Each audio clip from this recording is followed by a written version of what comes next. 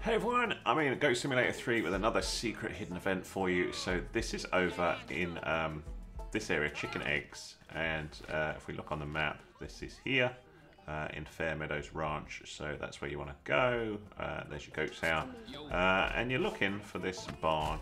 And along here is a possibility for you. So you can see we have this big old bowl here. And what we need to do is ring the bell. And then jump in the bowl.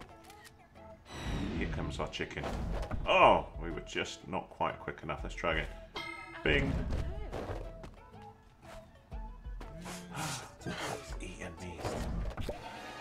We go, homegrown chicken. And we turn into freshly made eggs. Lovely.